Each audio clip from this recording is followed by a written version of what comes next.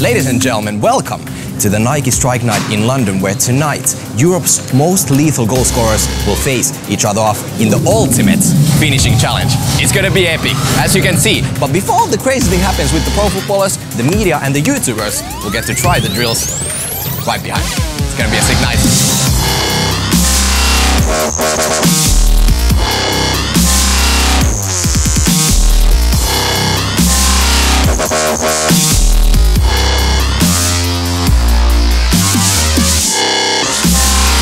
So,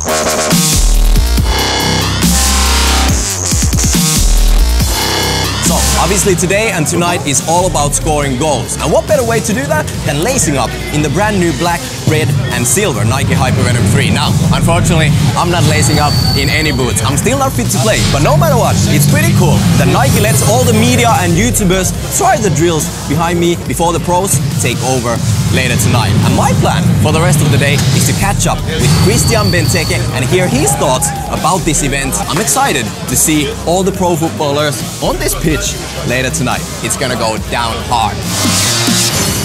The event keeps on moving forward, and actually, I'm very happy to be here with the man on my right. You already know who he is Christian Benteke. How are you doing today? I'm Good, thank you. So, um, I, I expect you saw the last video we made together. What did you think about that? Oh, it was good. It was good. I didn't know that I will be that good.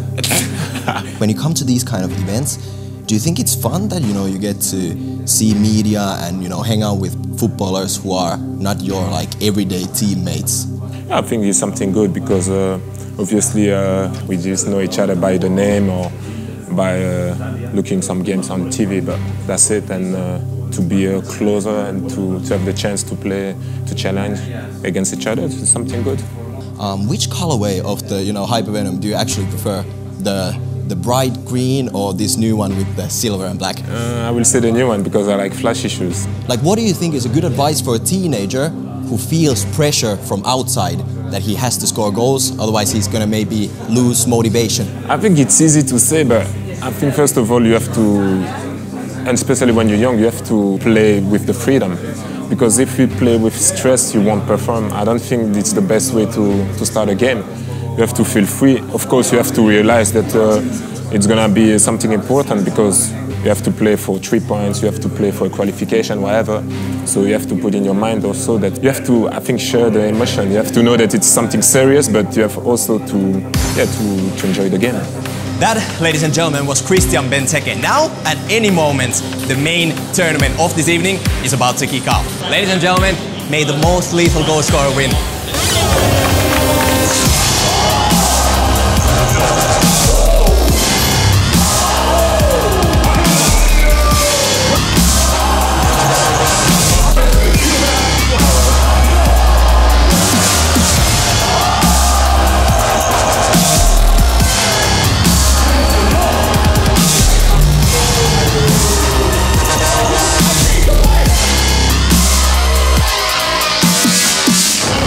Ladies and gentlemen, was an event, if I ever saw something. We saw flair, we saw skills, we saw goals, we saw it all. I saw so many football players that I don't even know where to begin. Didier Drogba, Eden Hazard, Vertonghen, Aubameyang, everybody was here in London tonight. But in the end, it was Andre Silva that took home the first ever victory of the Nike Strike Night.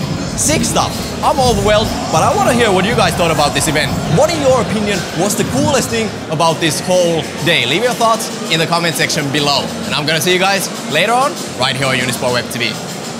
I'm out.